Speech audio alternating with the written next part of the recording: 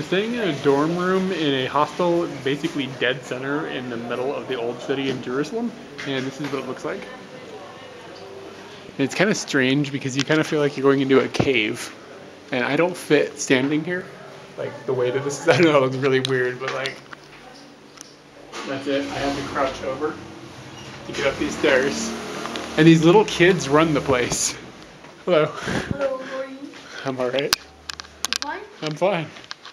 And we are staying in this dorm room, and I think there's two, four, six, eight, 10, 12, 14, 16, 18 beds in here. And, but look at it. It's like a cave. Like literally. And this is where we're sleeping. And I'm up top.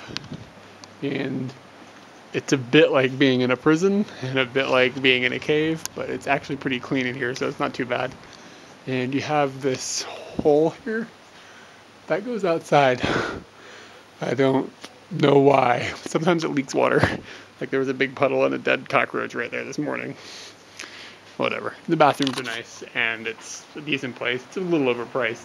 These two beds are costing us $30 like total for both of them. A little less than that, but a little bit of a kick in the pants. Oh well.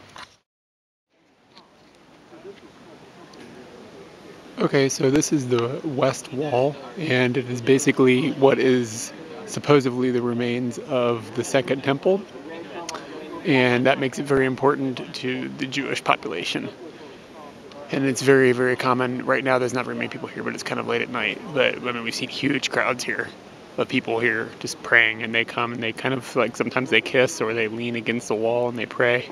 Apparently, there's a specific verse that they like to repeat that has something to do with it, but of course, I have no idea. And um, this is actually kind of of importance as well to Muslims, but you never see anybody here. Apparently, Muhammad tethered uh, his winged horse here. I'm assuming before he ascended to heaven, which was supposedly very near here. So I'm not 100% sure the story on that either, but it's a very important place for a lot of people, so it's an interesting thing to see. And um, you can see that um, it's separated in sexes. Men are over here, there's a wall over here, and the women go over there. And um, they have just stands so people can come and read religious texts and they can just sit back. And it seems to be sort of a social thing to a certain degree where people will sit and they will be um, just chatting and meeting and things like that. So it's uh, it's an interesting thing. And again, it's inside of Old Jerusalem, and it is uh, you just see a lot of lot of Jewish people walking towards it constantly. As you can see, this is where they tend to congregate. But uh, it's cool to see it, and it is apparently open 24 hours a day. So if you want to come here in the middle of the night, get you some uh, West Wall burgers in, no problemo.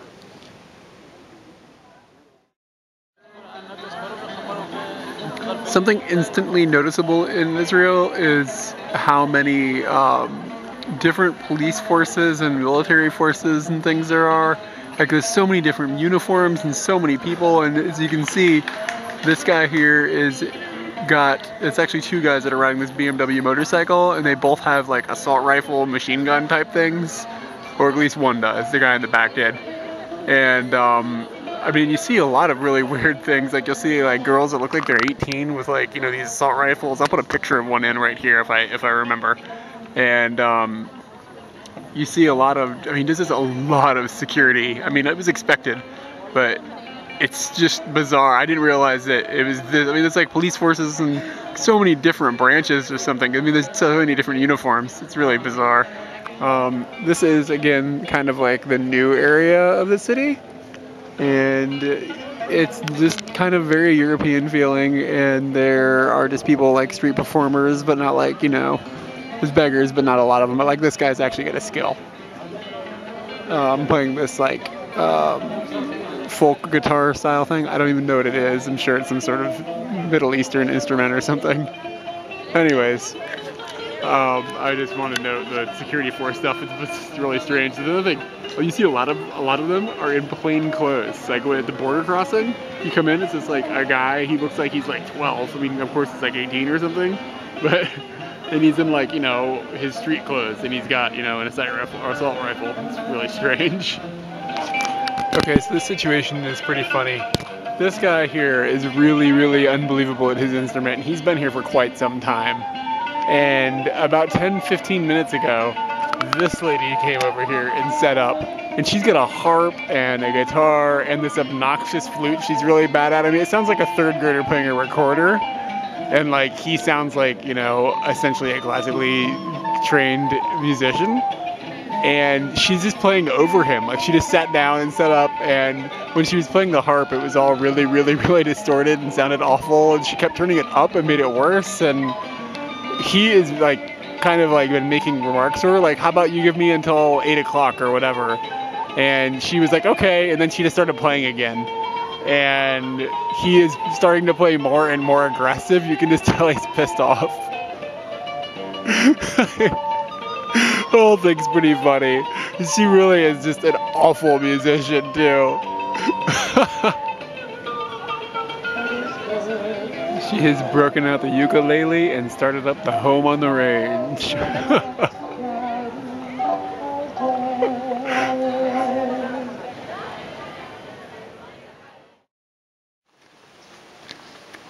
so here's an odd one. I've been walking around tonight without Katie because she's just hanging out back at the room. And I mean, everybody always tells me I look Jewish, and I'm not really convinced. But every time I talk to somebody who is, they speak to me directly in Hebrew, even though they speak English. So they just assume that I'm, you know, fluent. And I'm just always like, I don't know what you're talking about.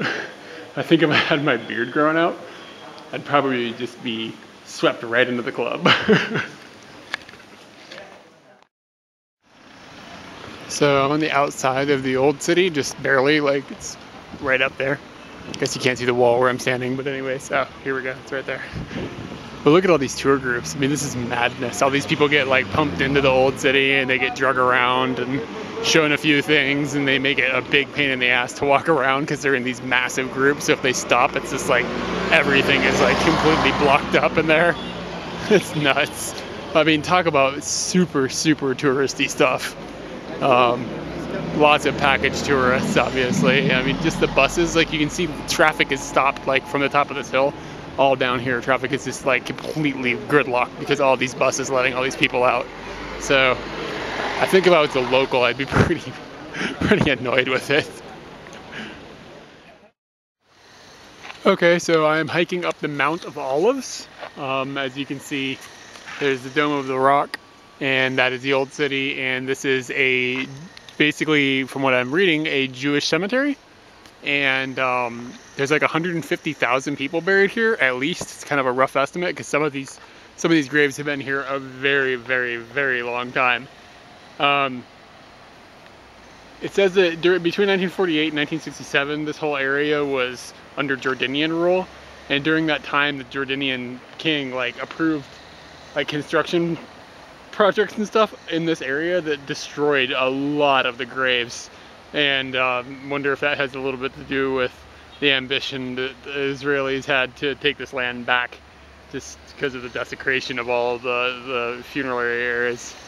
So um, I'm gonna hike up there and you can see there's a massive tour group up here and they probably have a pretty good view of the city.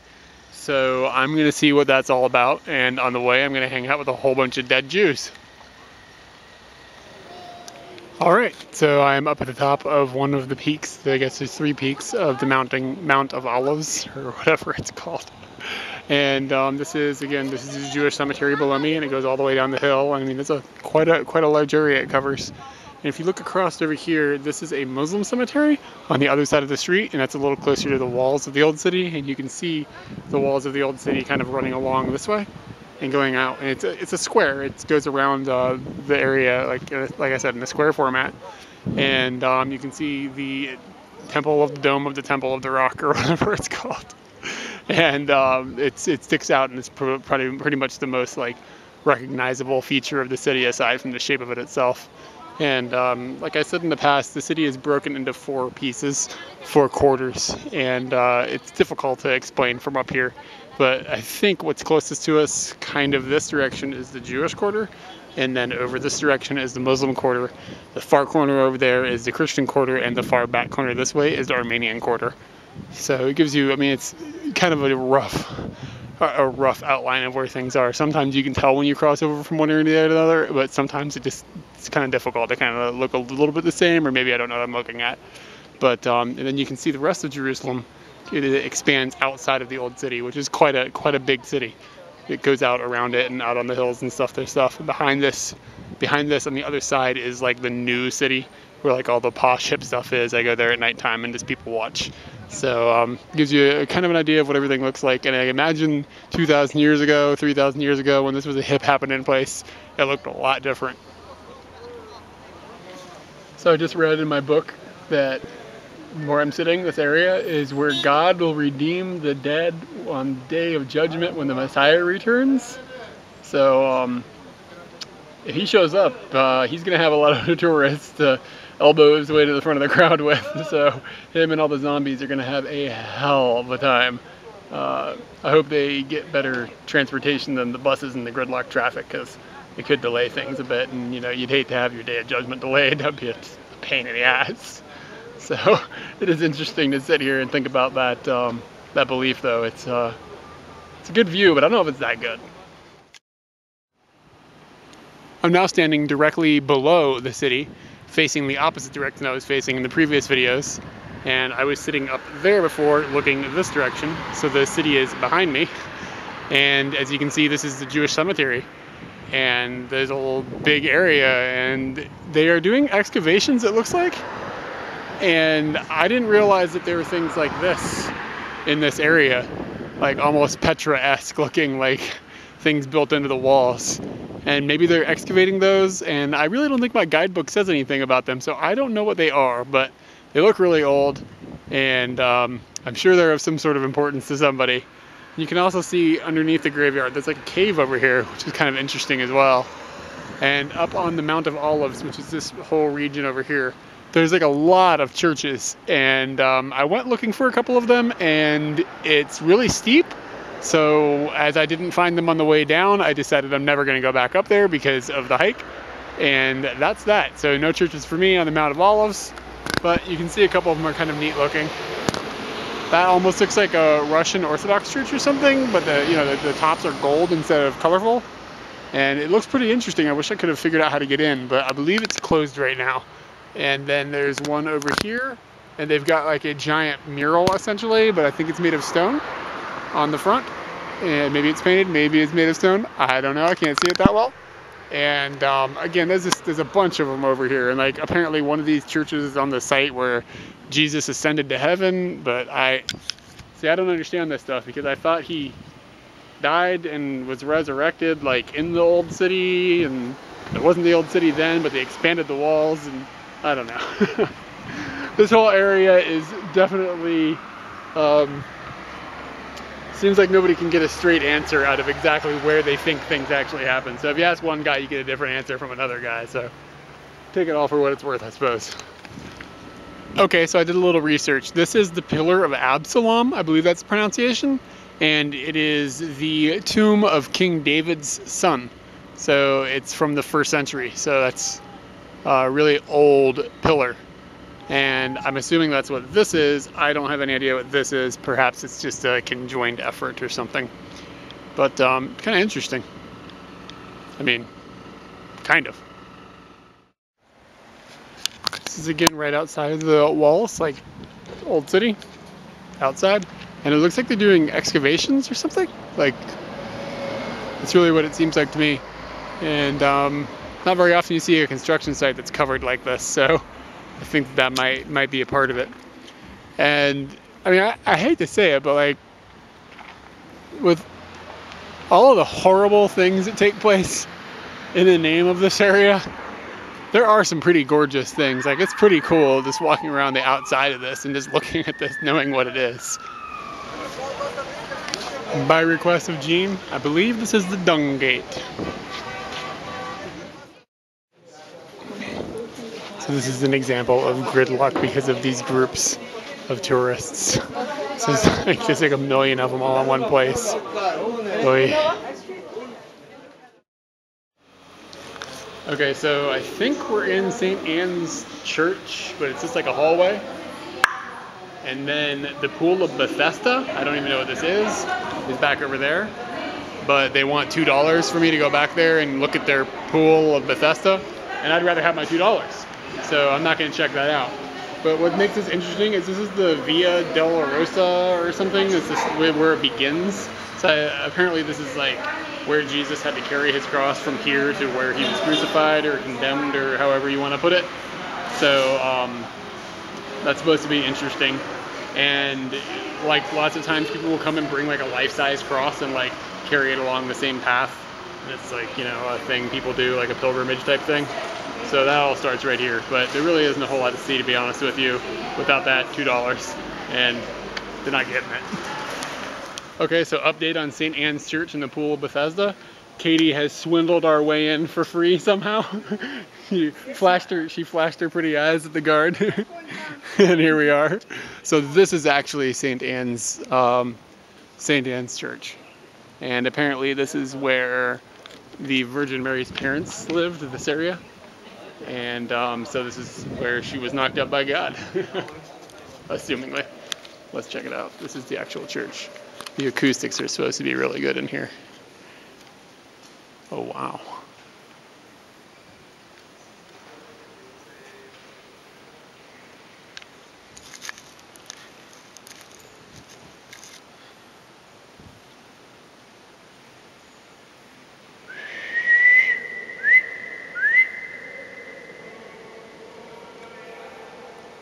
The reverb in here is bananas.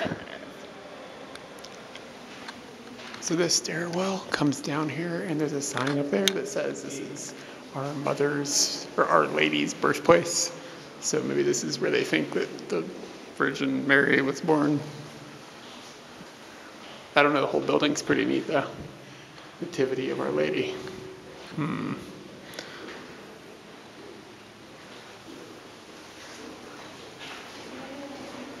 Katie's down here signing her yearbook. She's gonna say, It's been a good year. Keep in touch. Call me over the summer. so here's a group of people that are taking the walk with the cross. You can see that it's a large group of people. And um, they have a full size cross and they'll carry it all the way over to the whole Church of the Holy Sepulchre Sepulchre. What's it called? Church of the Holy what? Sepulchre. Sepulchre, Sepulchre. Or maybe they'll stop here. I don't know.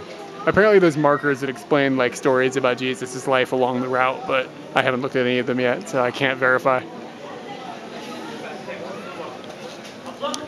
So here's a couple of like Israeli security force uh, members, and um, they've just been standing here doing their thing and checking out girls and that type of thing. And as you can see, they've got you know assault rifles. And a few minutes ago, a guy was just walking down the street. I mean, like, thousand people have walked by since we've been sitting here easily.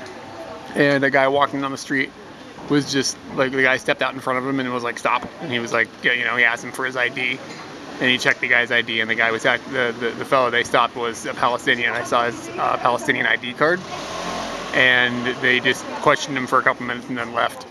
So, I mean, it's just crazy. Like, no wonder these people are pissed off. Like, you're just walking down the road, and all of a sudden, you gotta get interrogated by a man with an assault rifle. Um, another note: there, whenever you see any Israeli security force, police or military or anything, they are always in groups of two. Like, always. You never see just like a cop walking on the street. It does not happen. Even on motorcycles, they share the two people to a motorcycle. So, I mean, I guess it's you know, watch each other's back type of thing. So this is the kind of the residential-ish area of the Jewish quarter. As you can see, it's a lot more calm and just like it's a lot newer. It was all destroyed in 1948, and I don't think they started rebuilding it until like 1967, 1968. So it's all pretty pretty new comparatively. And um, there's a synagogue up here that is pretty cool looking. And ta-da! Here it is so that's a uh, pretty cool find. We've just been kind of lost and we just came across this. And it says it is the Mara, can't read it, Maramban, Maramban synagogue.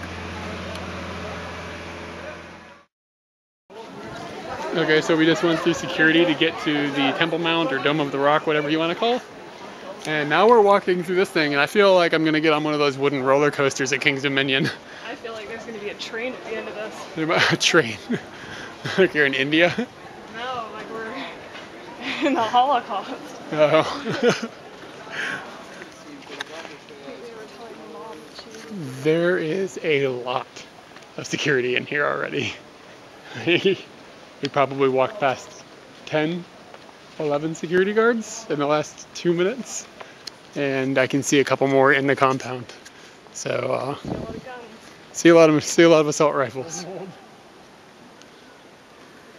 This, my friends, the Dome of the Rock.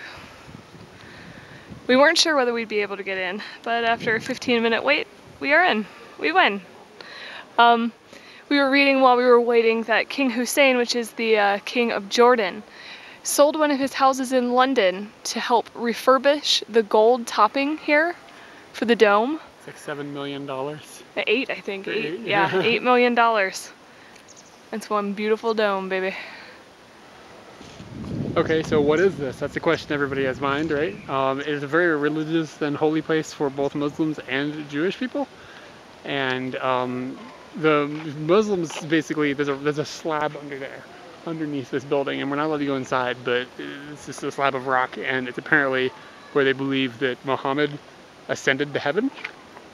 And um, I'm not really clear on why this is such an important place for Jewish people. That one's a little in the air for me, but I think it has something to do with it being like uh, kind of the meeting place between heaven and earth for people, for like your soul or something. But I'm not.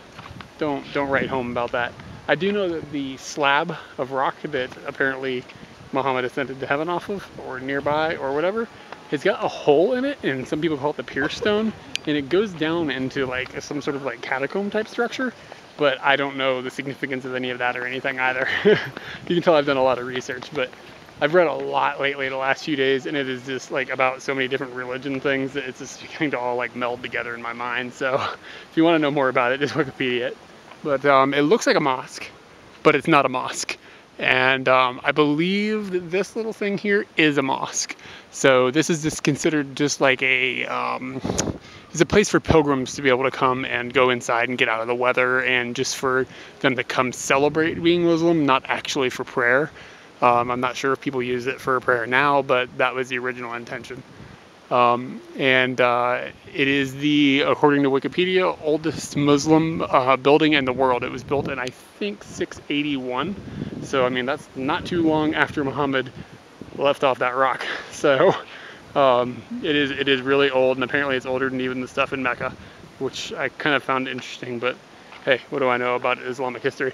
So that's it, and it is very iconic, and you can see it from like everywhere around on the Mount of Olives and everything around. So it's just like the iconic spot of um, of Jerusalem as far as things. You know, I mean, it looks really flashy and it really sticks out. So that's what people think of when they think of the city to a certain degree. So we're basically in like one of the most controversial sites in the world. And I mean, to the point of violently controversial. And right off over this little ledge right here, every couple of minutes, you can hear the very distinct sound of a gunshot going off, and it just ricochets through all the hills. So that's very comforting.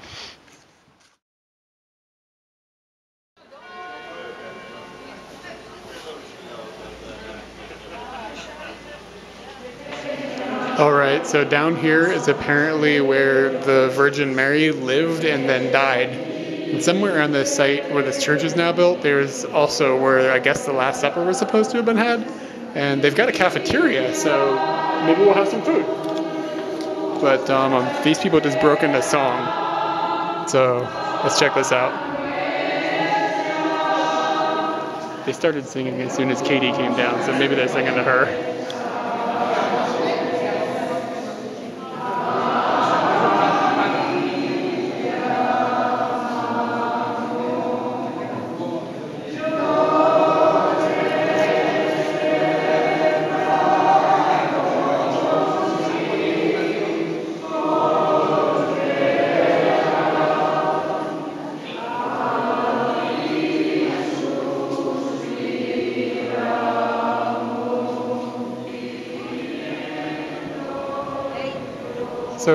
Inside the uh, Dormition Abbey here, and the cafeteria is a bust. Like they have Snickers bars, but they're like three dollars.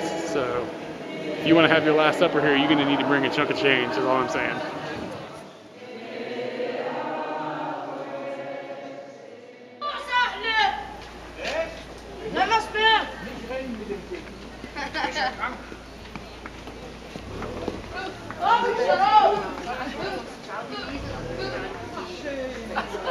Man in the Scirocco does not like the boy on the donkey. In case you're wondering, the Armenian quarter doesn't really stick out as any different than the Jewish quarter.